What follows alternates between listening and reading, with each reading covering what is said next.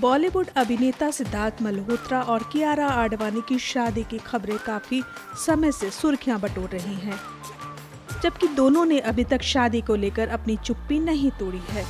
अब एक नई रिपोर्ट के मुताबिक सिद्धार्थ और कियारा फरवरी 2023 में शादी के बंधन में बंध सकते हैं। कपल राजस्थान के जैसलमेर पैलेस होटल में शाही शादी कर सकते हैं। ई टाइम्स की रिपोर्ट के मुताबिक सिद्धार्थ और कियारा 6 फरवरी को साथ फेरे लेंगे और 4 से 5 तक इनकी प्री वेडिंग फ़ंक्शन की शुरुआत होगी।